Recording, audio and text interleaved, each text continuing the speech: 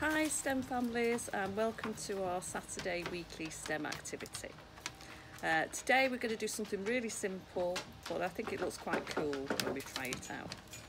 So all you're going to need is a circular bowl and a couple of q-tips, some food colouring,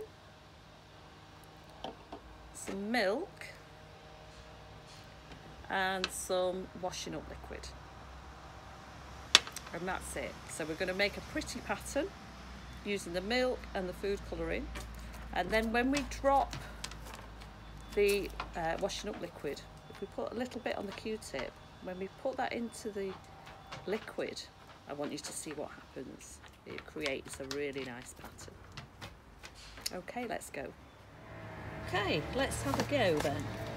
So to start off with you're going to pour a little bit of milk into your bowl so you don't need lots, just a little bit is enough. And then get your Q-tip, have it ready. So we're going to dip it in to our washing up liquid. Now you don't need lots and lots. We can always put more on if we need to.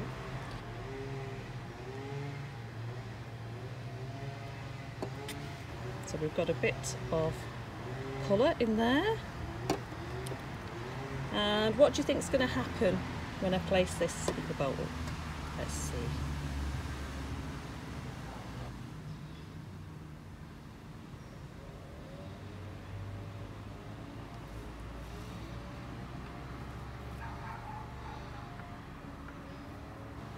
Okay, so we've made a circle.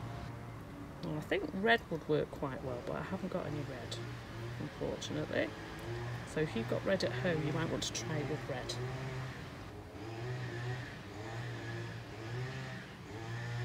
Okay, this time let's try it with full fat milk and see what the difference is. So we'll pour a little bit on our plate. Just let that settle for a minute. Okay, let's put our Q-tip in the washing up liquid. Get that ready. And let's try again. So we'll try some green. Hmm, it's moved already, hasn't it? Not doing very well with this. I think it might be my food colouring. It might be too watery. Yeah.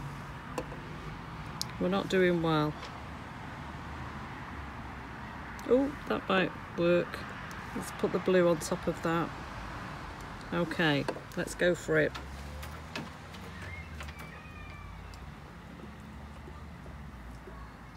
Oh, that's quite a nice effect.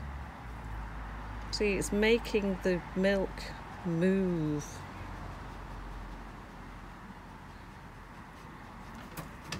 See, it's still moving when I've taken it out.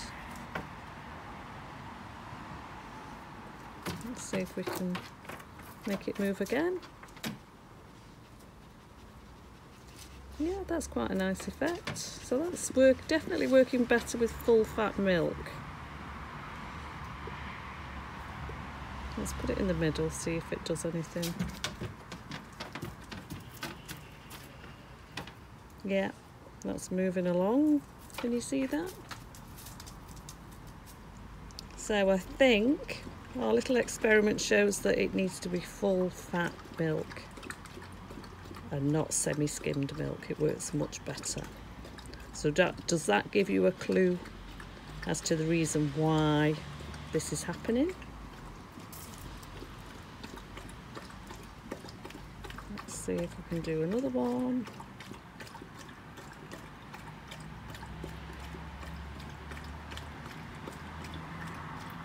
Okay, I think that worked quite well.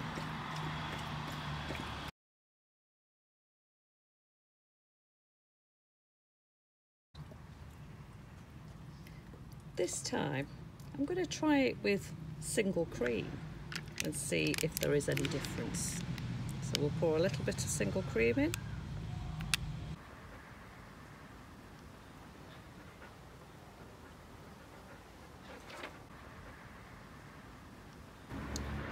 Okay, we'll let that settle Um, we'll get our washing up liquid ready.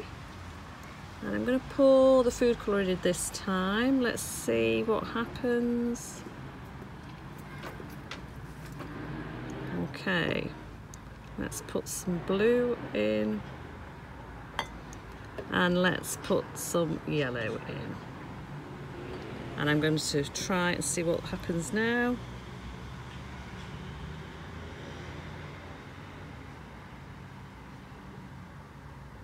It's starting. Can you see?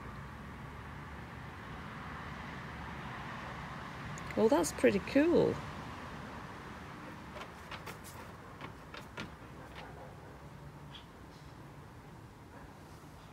So see, it's moving it. Let's add some more.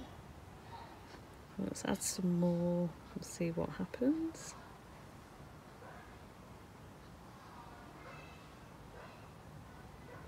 Let's try some there.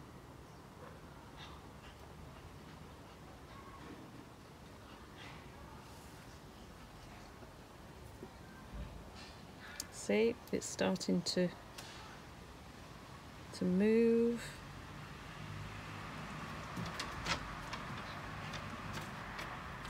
So which one do you prefer?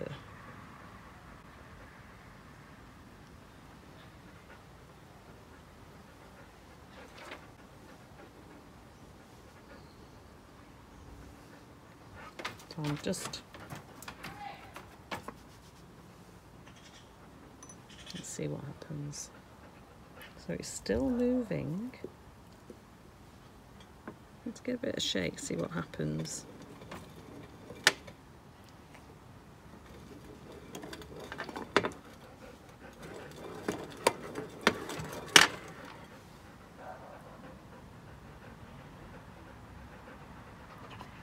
Yes, I quite like this one. See, it's still moving.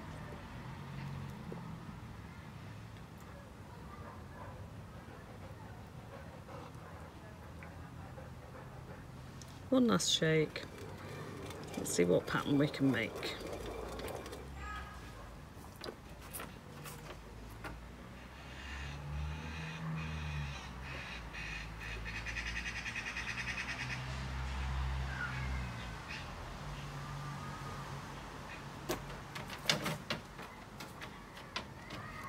So what you can do is at home try different things. If you change one thing, that's how you can uh, make your experiment a little bit different. So you can try just changing one thing and see what difference it makes.